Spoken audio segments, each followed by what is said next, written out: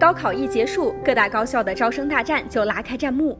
你可能以为大学的招生广告是这样的，有板有眼，规规矩矩。你可能以为大学的招生宣传片是这样的，庄重大气，四平八稳。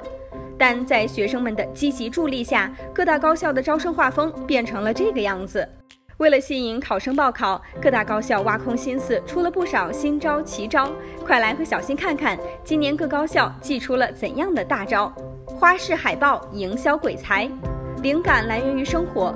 不少高校将招生文案做成似曾相识的小说文案、弹窗广告、椰汁包装，将母校花式安利给正在择校的高考生们。重庆大学的招生海报，不看到最后还以为又是一本网络小说。安徽师范大学的海报，同学们将学校的介绍和游戏《恋与制作人》海报进行了一番创意改编。清华大学的海报派出了一群可爱的小黄鸭，小黄鸭摇旗呐喊，在清华等你来。中南林业科技大学的海报则参考了某饮料品牌的经典设计，熟悉的风格，不同的味道。还有这款彩虹海报，借鉴了网站广告栏的设计，直接用颜色给你最极致的冲击。鬼畜剪辑，猝不及防。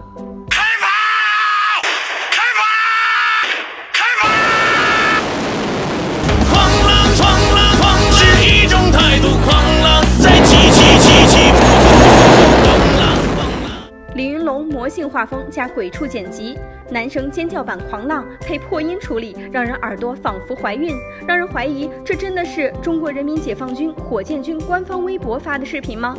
随后，火箭军工程大学官方微博“火大青春”应声抢占热评一楼，让人突然明白，这竟然是一条招生广告。组合招生假装 diss，看武汉大学的牌坊多大多高多美，欢迎报考中国人民大学。跑到对方校门口宣传，这不是搞事情吗？没想到主页君跑出来卖了个萌，嚯，原来这是商量好的套路呀！爽了在校生，让高考生心动。或许你知道陕西师范大学，但你知道陕西吃瓜大学吗？近日，陕西师范大学的微博上就晒出了吃瓜酒图，邀请考生一起来到陕师大聚众吃瓜，有没有心动的感觉呢？除了吃瓜，还可以蹦迪。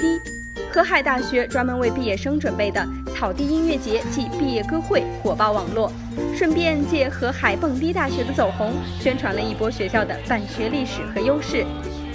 突然被秀一脸，各大高校人才济济，有秀才艺的。武汉科技大学美女老师组团自编舞蹈，在校园内拍摄了一组以“知否知否”为主题的 MV，为学校代言推介学校的美景。有秀大咖的，上海交大直接搬出了自己的两位科学界元老。有秀美食的，山东大学为了考生的到来，特意准备了一桌好饭。南京航空航天大学更是直接派出食堂厨师代言。山东大学不光秀美食，还秀猫。喂喂喂，犯规啦！看完这些花样招生文案，有网友感叹：大学读了几年，没发现原来母校可以这样皮。也有高考生不得不向父母澄清：爸爸妈妈，你们听我解释，我要报考的真不是什么不正经大学。